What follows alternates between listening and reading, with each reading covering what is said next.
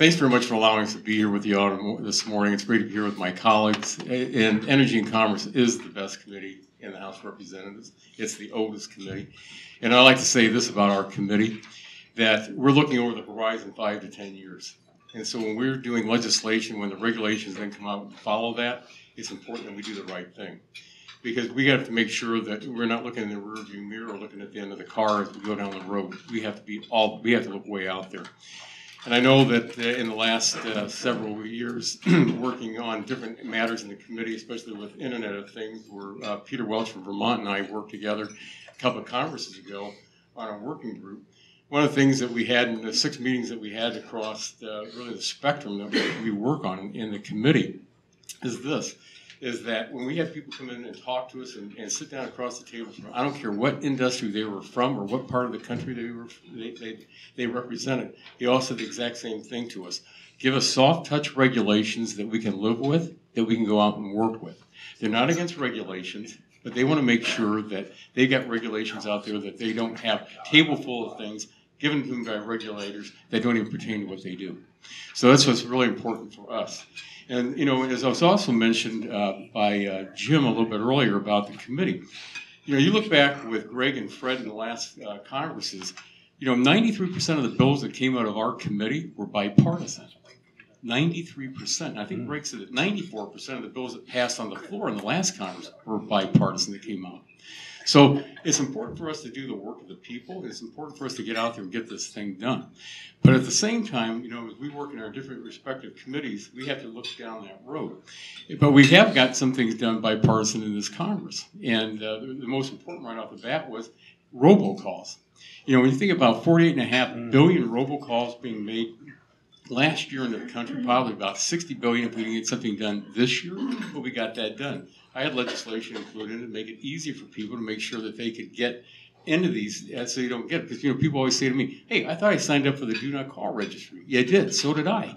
But these are coming in from foreign countries that uh, we got to stop this. Mm-hmm. So working with the FCC and the FCC working with the carriers to make sure from call authentication going right down the line, we have to make sure that we're getting things done for the American people because people are afraid to pick up their phones. And when you have uh, you know uh, seniors out there being scammed about thirty-eight billion dollars a year, and of that thirty-eight billion dollars, a lot of it's done over the phone from these robocalls.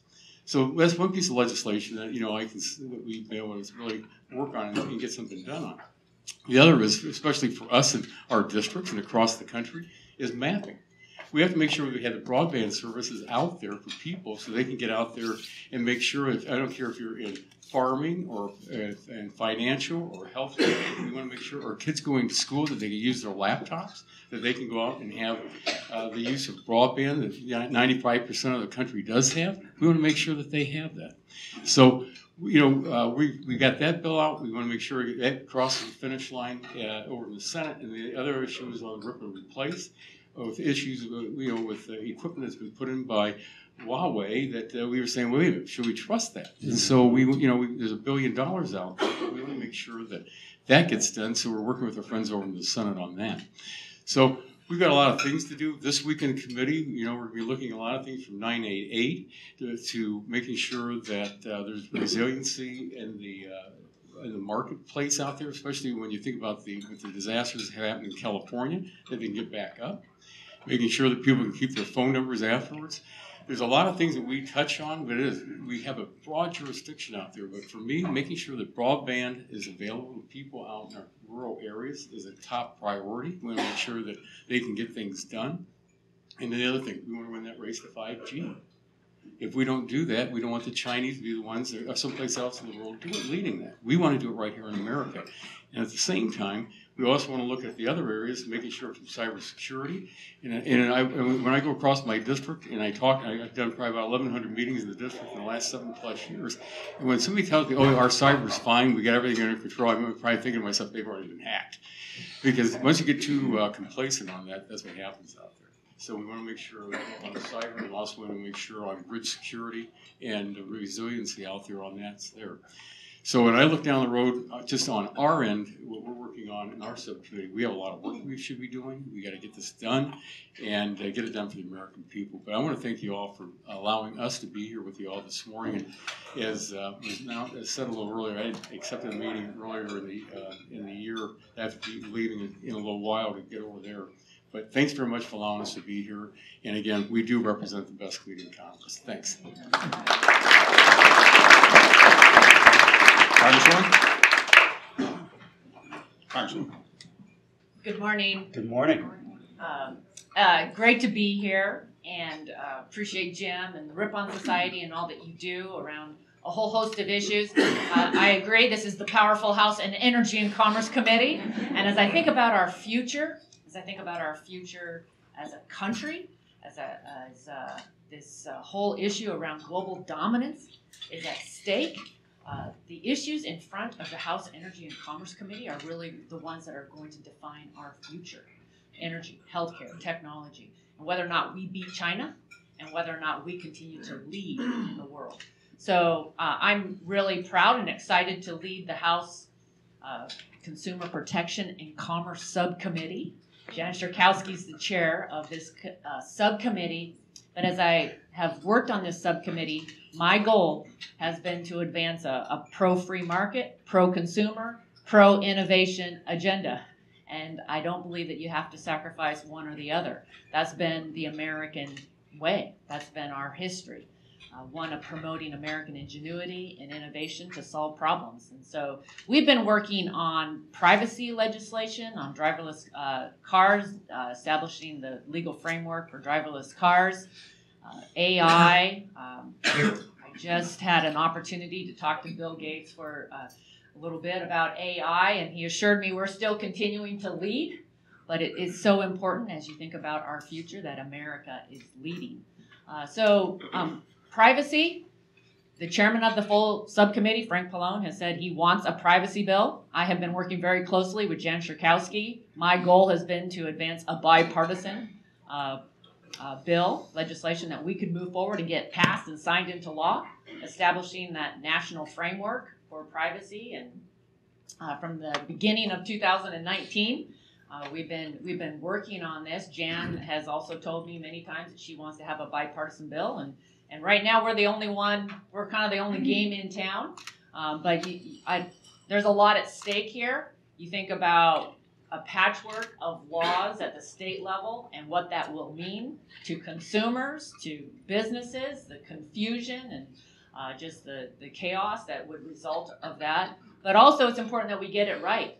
Uh, GDPR has has imposed major costs, uh, barriers to entry, and America is a country that cherishes innovation and the startups. And so, anything that we do, we have to make sure that we are not putting up those barriers to entry such that the startups uh, cannot uh, come into the marketplace. So, uh, privacy, uh, AI, you know, there's huge potential to solve problems. But again, we need to be doing it with leading with American principles.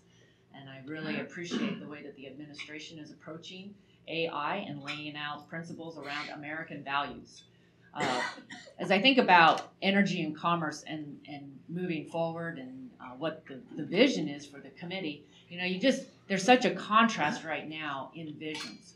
And on the left, you see the, the Medicare for all, the Green New Deal. It's really, it's a, a socialist agenda.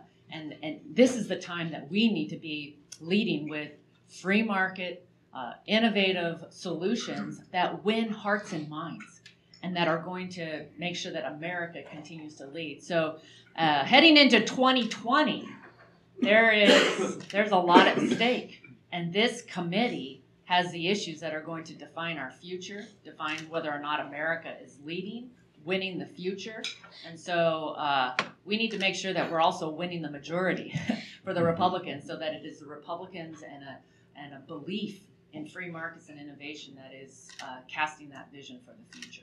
And look forward to working with all of you. Thank you.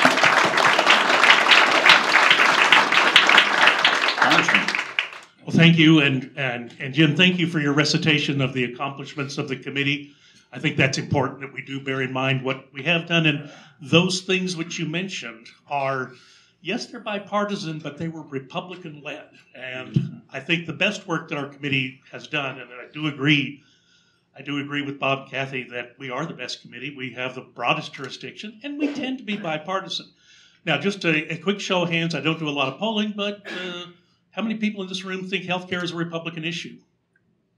Oh, wait a minute, wait a minute. of course. So look, it seems like forever ago, but the Iowa caucuses, the number one issue that emerged, we still don't know who won, but both sides, the emerging issue was healthcare was was way up there as uh, something that people had people's concern, people's attention. You know, you stop and think about Republicans should be involved in healthcare policy think about the differences between the two parties. Who values the sanctity of the individual? Who cherishes the supremacy of the state? Well, clearly, it's the Republican side my opinion, will deliver more cures, more opportunities, more more choices for people. On the Democratic side, it's a winnowing down of your choices. And uh, you know, I'll tell you, from somebody who practiced medicine, you don't want less choices; you want more. So. Um, man, it's tough sledding right now in the committee, we in the health subcommittee. But at the same time, there are a few things that uh, have gotten accomplished. Uh, some increases in drugs going through the generic space. The purple book, the orange book creates that got tacked onto the last budget bill. So these are wins. And the president talks about, for the first time, his administration has seen overseen a, a, a reduction, however small, in, in pharmaceutical prices. That's a good thing probably as a result of Dr. Scott Gottlieb pushing pushing the generics uh, through the, the FDA as he, he did when he was the administrator there. And I think we've got a good administrator, good Texan as an administrator of the FDA. So I'm, I'm looking forward to working with him in the in the future. But the uh, these are Republican ideas, and, and they should be Republican led. Now, some of the some of the great work, and, and one of the things left off was Bob Latta's track and trace bill. We're all worried about the how, the integrity of the supply chain right now, and Bob kind of gave us the roadmap to follow with that back in 2012. And of course, Fred Upton's crowning achievement on the, on the Cures bill. As we go into the next version of the Cures bill, which I believe we will, look, we had a dreadful, dreadful markup a little less than six months ago on a bill called HR3, which was to control pharmaceutical prices they said they wanted negotiation, but it was actually a hostage taking and a 95% excise tax on the profit, I mean, on the net revenues or the gross revenues of pharmaceutical companies would actually eliminate them as, as American businesses. Well, we can't do that. And now, six months later, what are we doing? We're looking at the coronavirus and we're looking at those same companies. Can you get us an antiviral a little quicker? And it does seem like there's some on the horizon, and this would be great news. Can you get us a vaccine a little quicker? And it looks like there may be some on the horizon. Again, great news. What about those monoclonal antibodies that people talk about? Well, they're not going to come from somewhere else. They're going to come from research and development and pharmaceutical companies. You look back on the American history there. Yeah, Alexander Fleming discovered penicillin, and he's got the statue that the bullfighters put up for him in Spain. But it was American. It was American production of penicillin that actually helped win the Second World War. It democratized penicillin of Percy Julian, African American, or an African American History Month, that democratized the production of cortisone and made it a standard in, in one of our one of our standard medical therapies. Look, I think there's a lot to be said for the future. Uh, some of the more narrow bills that went through, we did the first standalone sickle cell bill that I could ever remember. President Trump signed it law in, in 2018. The first standalone maternal mortality bill, Jaime Herrera Beutler's bill, signed into law in the last Congress. We can build on those successes, and and indeed we should. One of the things I like about Health Subcommittee is you get to color outside the lines sometimes. So uh, I actually did an event up in or with Bob up in his district and heard from his medical staff section in one of his hospitals that hey, these new electronic health records that you're requiring us to buy, they're hard to use, and the vendors are not being honest. And that led to an entire title in the Cures Bill to deal with interoperability and electronic health records and elimination of data blocking. So, do we intersect with the uh, information technology side of the world? Of course we do. One of the things that really excites me, and, and Representative McMorris Rodgers mentioned about artificial intelligence, there's an intersection with healthcare and artificial intelligence. Diseases like type 1 diabetes lend themselves to artificial intelligence may be the platform of the future for the correct management of type 1 diabetes. There was an article in one of the journals just the other day about the management of depression. As someone who practiced medicine, when I got out of residency, it was a long time ago. We didn't have the selective serotonin reuptake inhibitors. We had tricyclics. Before that, you had major tranquilizers. There has been an evolution in the treatment of depression, but still, it's empiric. You diagnose someone with depression, uh, de- de- depression, impression. You diagnose someone with depression. You make a selection based upon your your training and experience, and you're going to be right about 30% of the time. The problem is, it takes six weeks before you can see a therapeutic effect. And if you guessed wrong, then you've delayed actual definitive tra- treatment by six weeks. If there were a way to bring artificial intelligence into that platform to increase that to 60%, that would be pretty powerful. And it would reduce the time that people actually are afflicted with the ailment that actually has a treatment available to them. Look, the future is so bright as far as, uh, my opinion, as far as uh, as healthcare is concerned. It has been tough sledding in the committee right now, in the subcommittee. I think the good news is the president has kind of put forward a plan through a series of executive orders, which I hated when President Obama was in office, but I can see an upside to the executive order now. Uh, and things like transparency, expansion of health savings accounts, flexible spending accounts, all of these are good things to put more power in the hands of people. And after all, it's people that consume healthcare, not the government. It's people who benefit from healthcare, not the government. Bright future ahead for us. We got a lot of work to do. The good news is our committee in the majority is going to be in charge. Uh, really, there should be no question about it. We will be in the majority next next term. I think the president's going to be reelected. I see bright days ahead. I see us accomplishing a significant amount in the uh, in the next Congress. Can't wait to get started. Thank you for being here this morning.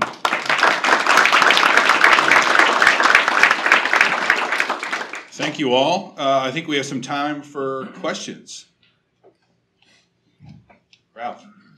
Yeah, um, thank you. Uh, the road back to the majority, a lot of people would argue, is gonna, we're gonna do well in suburban districts, college-educated women, young voters. One of the issues that I think a lot of those uh, constituencies care about is climate. I think uh, Leader McCarthy has come out with a lot of kind of forward-leaning, technologically innovative ideas on, uh, uh, on energy. Curious how involved you are in those areas, and do you do you also agree that that's something where Republicans are going to need to take on in an aggressive way and be have more positive alternatives? Uh, Yeah, we'll go backwards. I, well, I don't think there's any question about that, and I, I do appreciate uh, Leader McCarthy's leadership on this. And I think the uh, the roadmap that he's proposed is one that the committee needs to take very seriously. I also think you're right about uh, the part of the electorate where we have to do well, and the suburban mom.